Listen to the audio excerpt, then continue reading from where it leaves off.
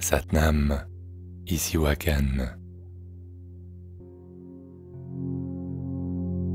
Bienvenue à cette méditation guidée pour soigner et guérir le corps de souffrance. Une notion développée par Eckhart dans sa forme la plus récente, mais qui est déjà présente dans le bouddhisme.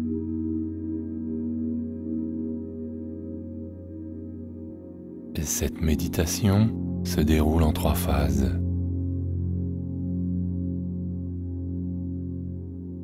Dans un premier temps, nous allons nous intéresser à la constitution du corps de souffrance.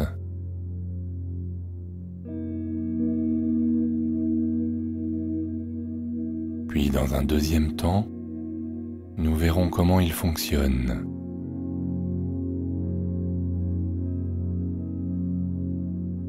Nous l'observerons en action, notamment lorsqu'il se manifeste sur le plan relationnel. Et enfin, nous verrons comment le désactiver.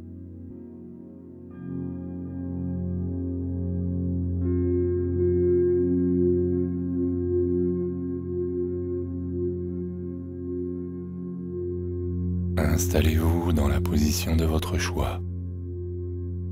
L'essentiel est qu'elle soit stable et confortable.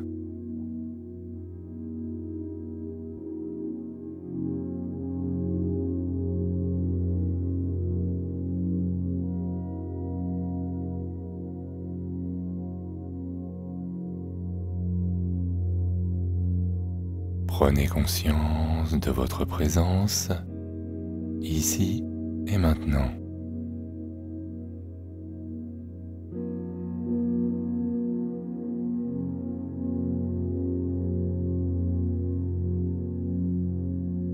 Réceptif, réceptive, en état d'ouverture.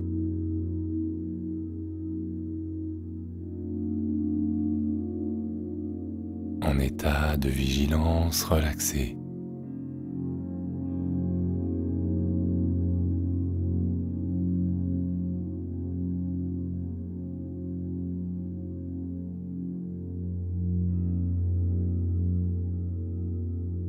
Le corps de souffrance est constitué d'énergie. C'est une entité énergétique située dans notre champ magnétique. Une entité qui a sa propre autonomie, son propre mode de fonctionnement.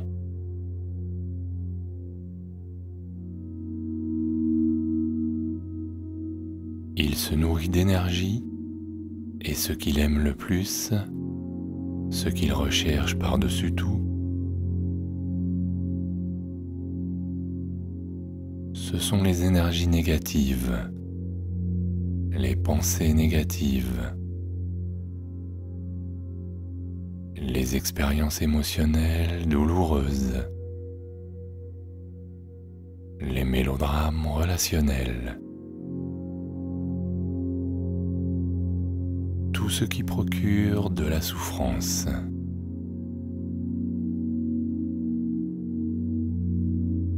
Il est comme drogué au malheur. Le nôtre est celui des autres.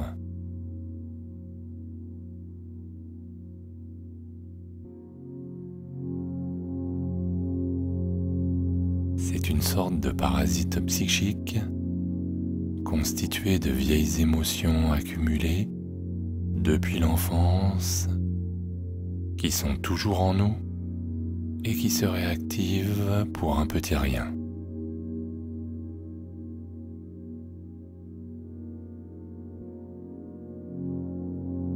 Le corps de souffrance a un fonctionnement très simple. Pour se mettre en route, il n'a pas besoin de grand-chose.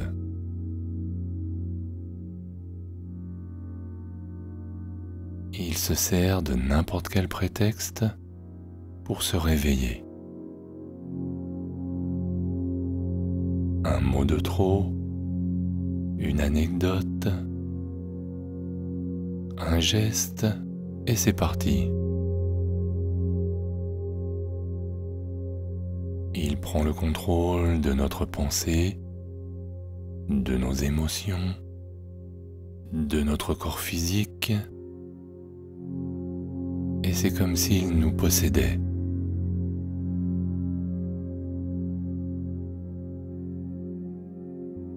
Quand une personne est sous son emprise, elle n'est plus la même. On ne la reconnaît plus. On se demande quel est ce fou furieux. Cette folle furieuse qui est en train de piquer sa crise en face de nous.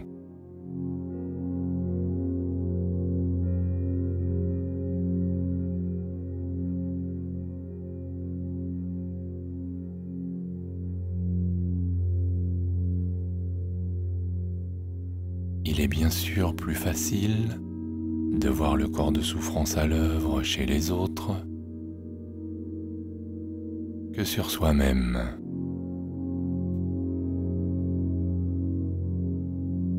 Mais vous devez commencer à avoir une petite idée de ce dont je veux parler.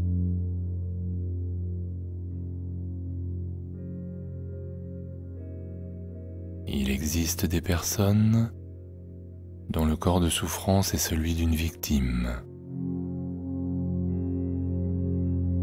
d'autres celui d'un bourreau. Et les deux se complètent et s'apprécient. Ils se nourrissent l'un l'autre sur le plan énergétique.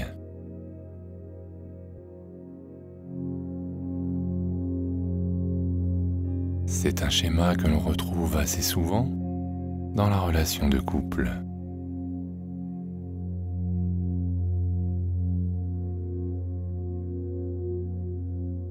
En fait, vous savez que c'est le corps de souffrance qui est à l'œuvre quand l'état dans lequel vous vous mettez ou dans lequel se met la personne qui est en face de vous, quand la réaction est totalement disproportionné par rapport à l'incident qui l'a déclenché.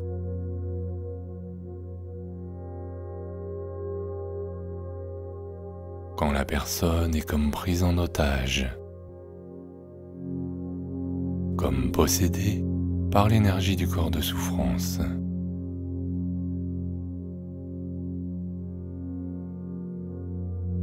Pourquoi ce parasite, ce vampire énergétique, survit-il? Tout simplement parce que nous y sommes attachés. Très attachés même, et nous le nourrissons régulièrement. Le pourquoi de cet attachement fera l'objet d'une autre méditation. Pour le moment, nous allons l'observer.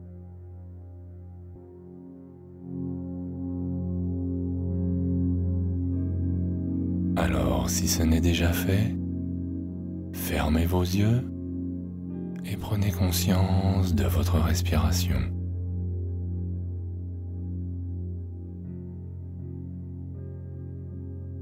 Du souffle qui va et qui vient.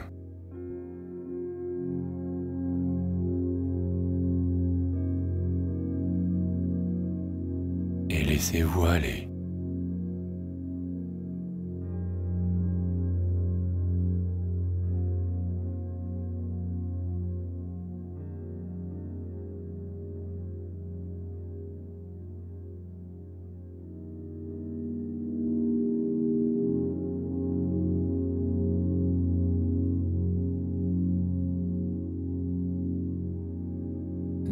Desserrez simultanément tous les muscles et les articulations de votre corps.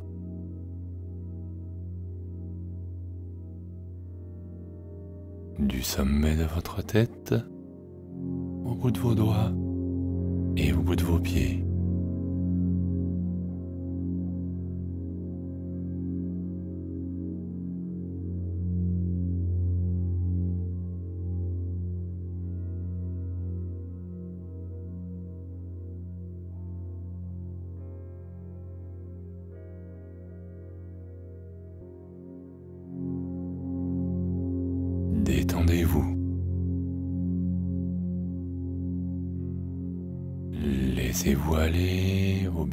Du relâchement.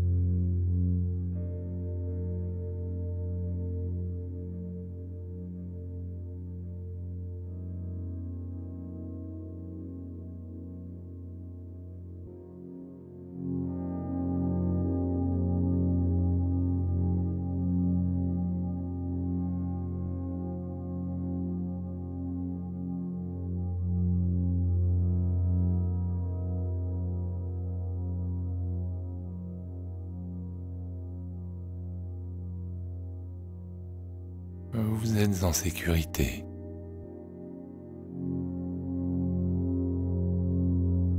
Tout va bien.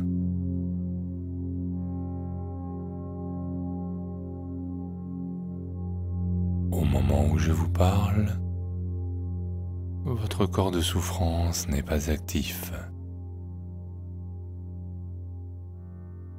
Il est en phase latente.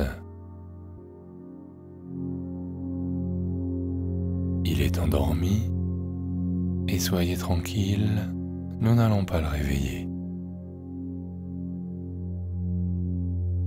Nous allons nous contenter de l'observer discrètement.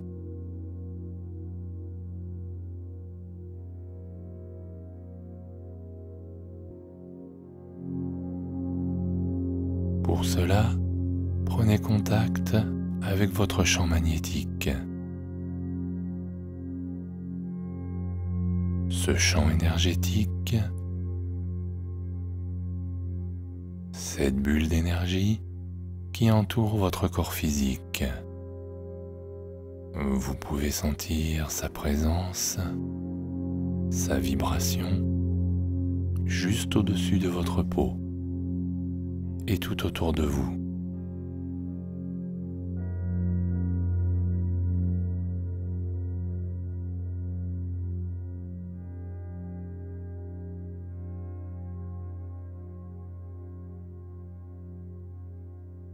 Corps de souffrance est là, dans votre champ magnétique.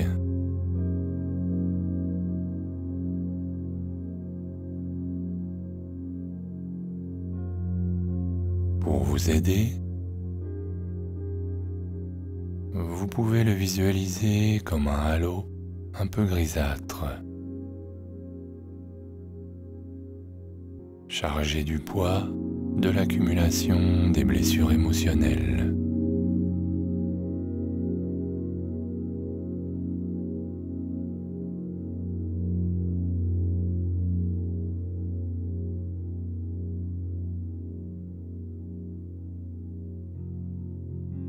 Ressentez sa présence avec douceur, avec tendresse, comme celle d'un enfant qui dort.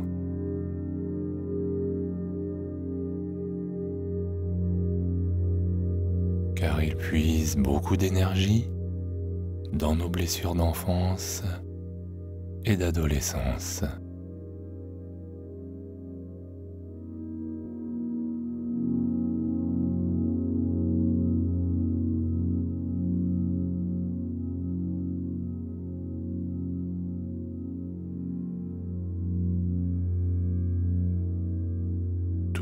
Bien relaxé, en confiance, en sécurité.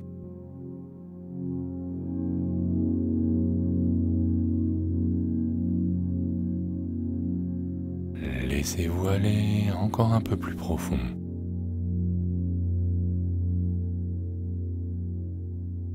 Sur chaque expiration, abandonnez le contrôle.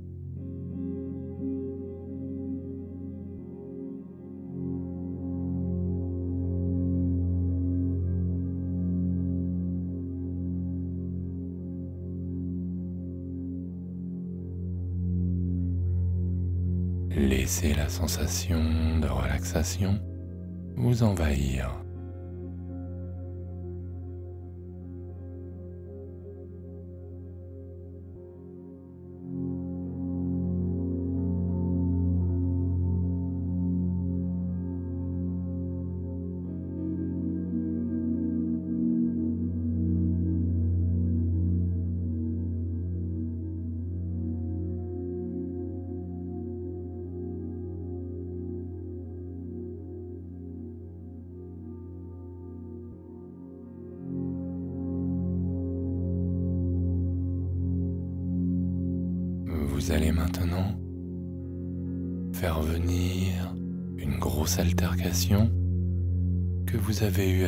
Proche.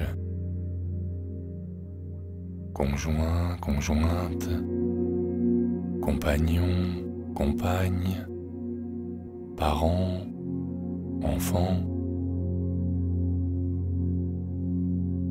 Parce que c'est souvent avec ceux avec lesquels la charge émotionnelle est la plus grande que cela se produit.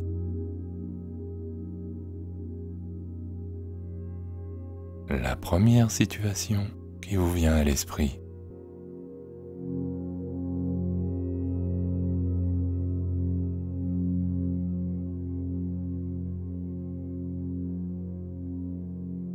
Ça y est, vous avez la scène vous avez les protagonistes.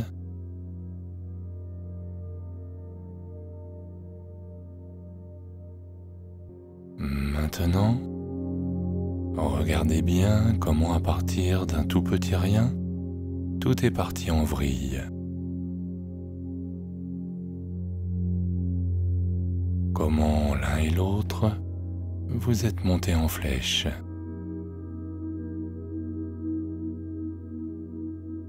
comment vous vous êtes lâché.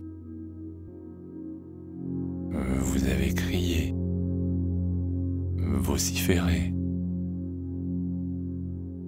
fait preuve de mauvaise foi, dit n'importe quoi.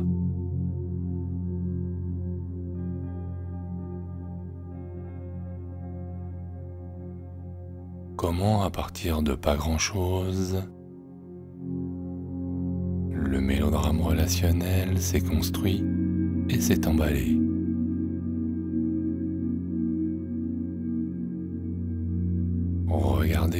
Corps de souffrance a pris possession de vous.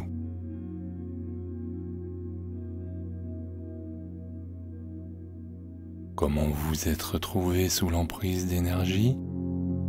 Totalement inconsciente.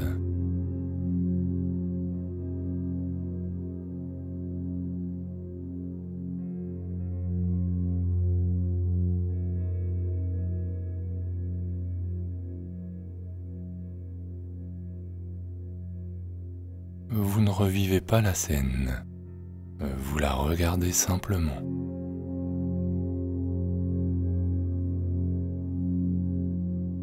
Parfaitement relaxé, en sécurité. Vous observez le corps de souffrance en action sans juger. Simple observateur simple observatrice de l'homme, de la femme que vous étiez à ce moment-là.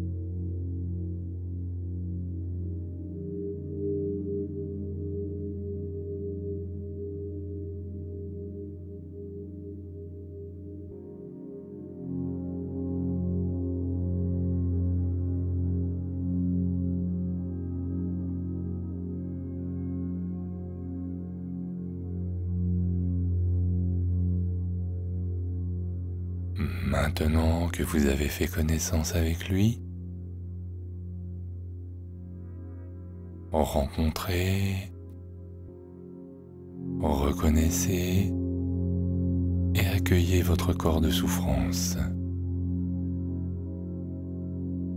avec bienveillance, avec compassion. Rencontrez cette part de vous-même très inconsciente et parce que c'est une part de vous-même, il est important de ne pas la rejeter.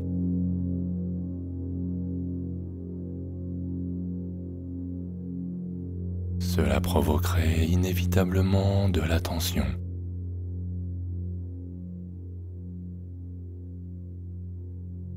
Renforcerait et prolongerait son maintien sur le plan énergétique.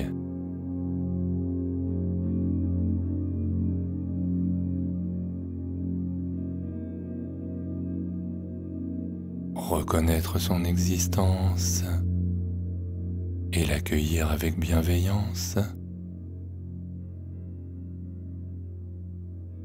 est une des clés pour désactiver votre corps de souffrance et vous en libérer.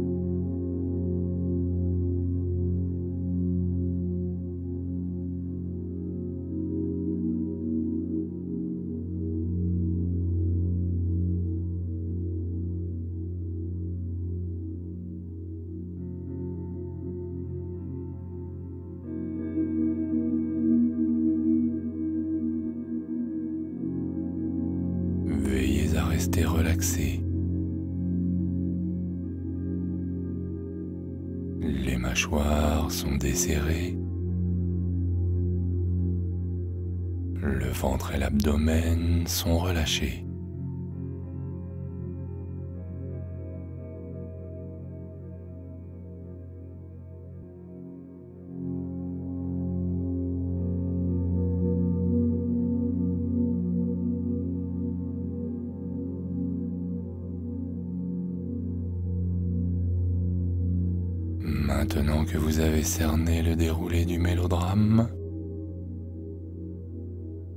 vous avez rencontré et accueilli cette part de vous-même, nous allons voir comment vous en libérer.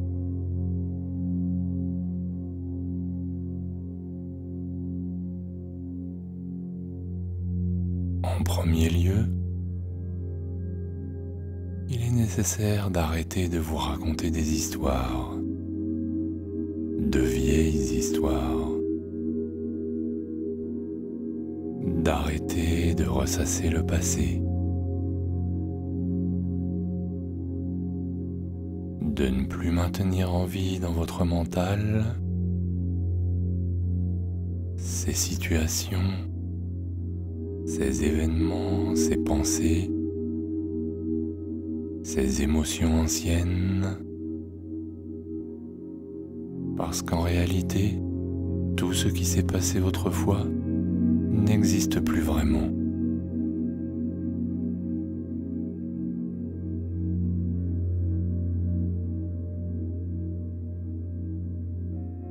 Seules des traces amnésiques sont encore présentes en vous.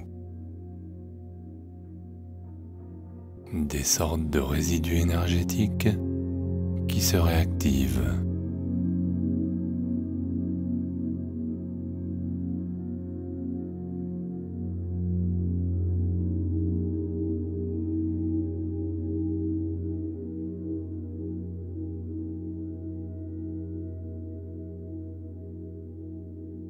À cet instant, la seule chose qui existe vraiment,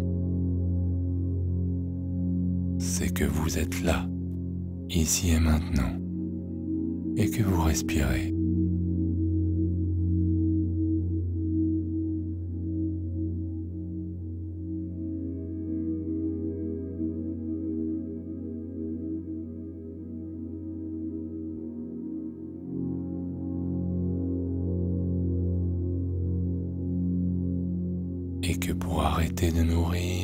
Parasite énergétique, vous devez mettre de la conscience, de la présence dans l'ici et maintenant.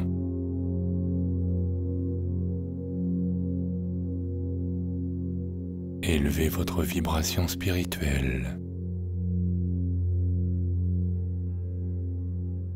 Maintenir constamment la présence, la conscience sur le moment présent.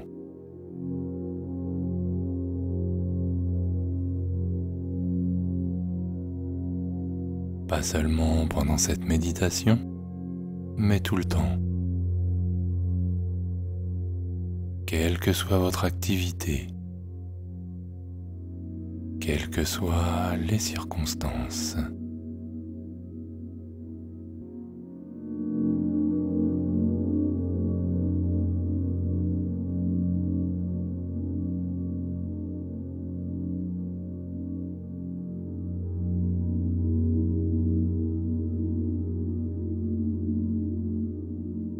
par la conscience du mouvement de votre souffle à cet instant.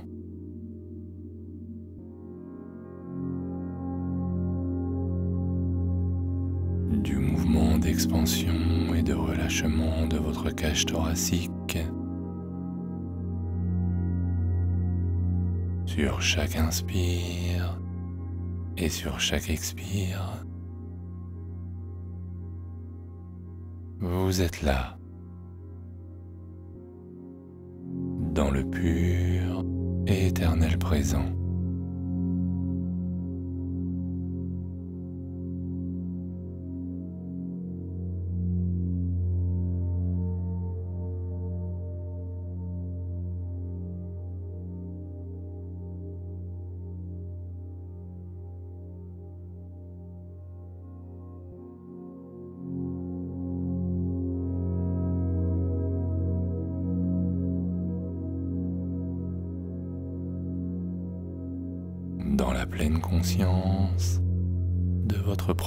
Présence.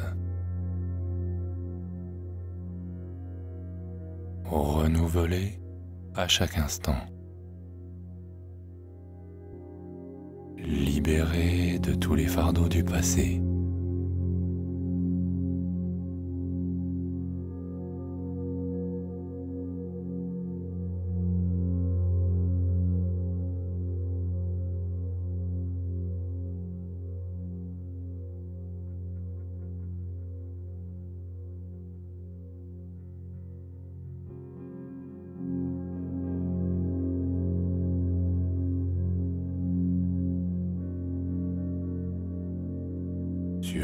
Inspiration, vous inspirez de la lumière,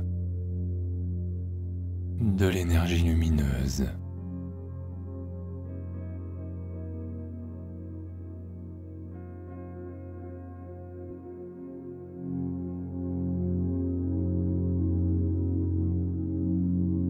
Et sur chaque expiration, vous laissez aller tous les attachements au passé.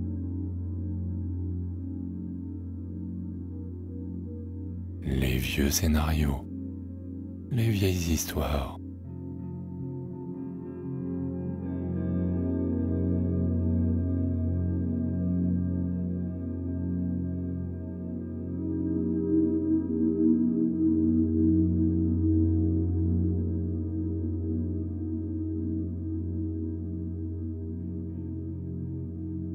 et peu à peu, votre champ énergétique se nettoie, se libère. Il retrouve de sa brillance, de sa luminosité.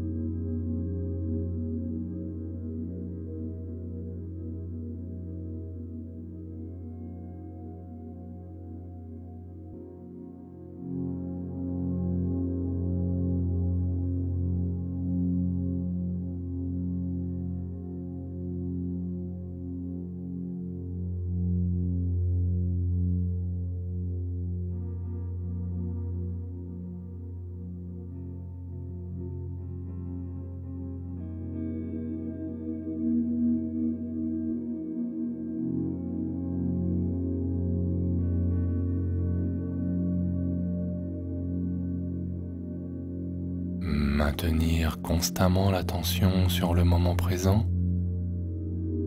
tel est le secret.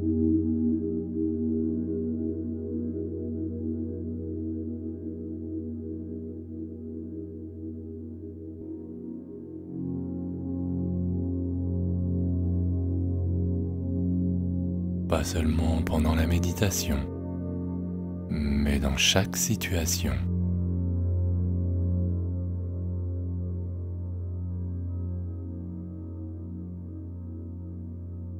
Chaque action du quotidien. D'instant en instant. Pour créer une nouvelle identité fondée sur la conscience du présent.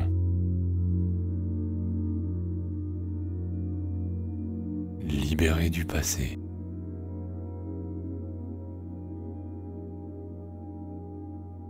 Et cela se fait simplement en maintenant la conscience sur le souffle.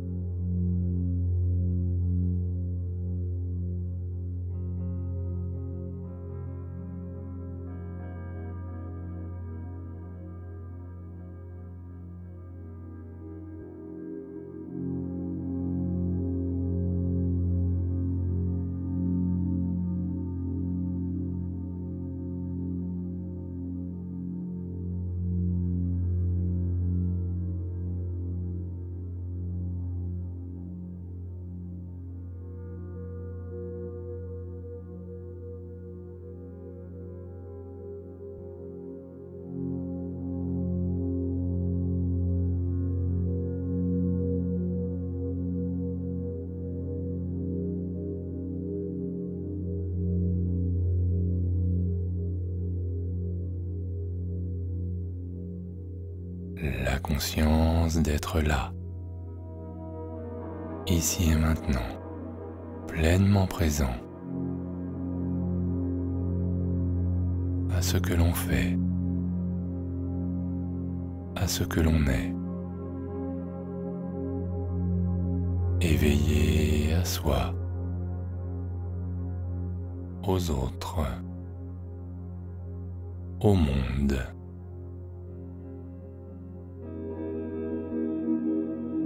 Et je vous laisse dans cette présence, dans cette conscience de l'instant.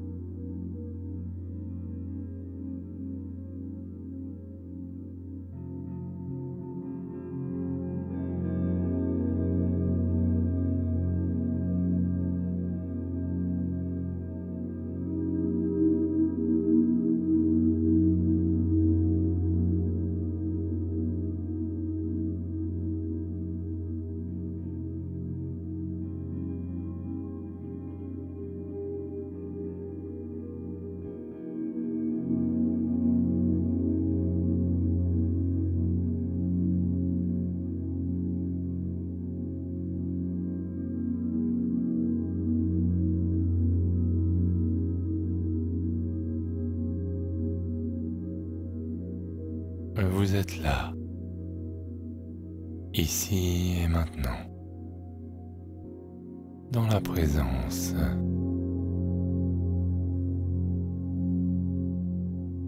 dans la conscience de votre souffle.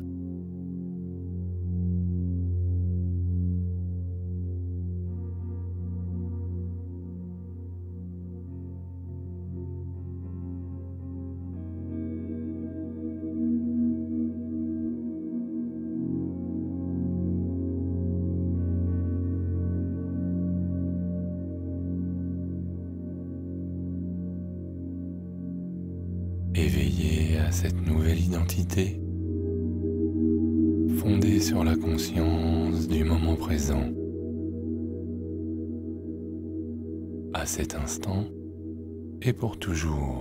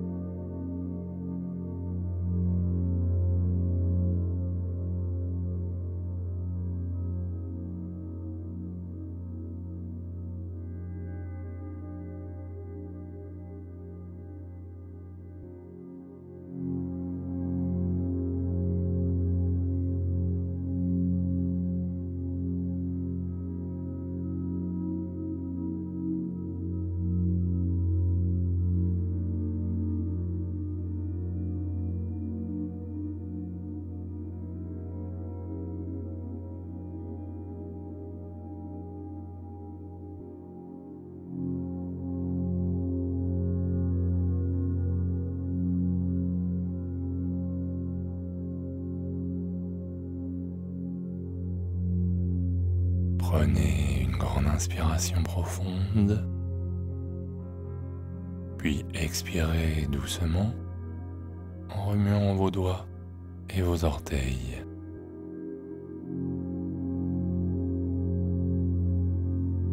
Puis reprenez contact avec votre environnement en ouvrant les yeux.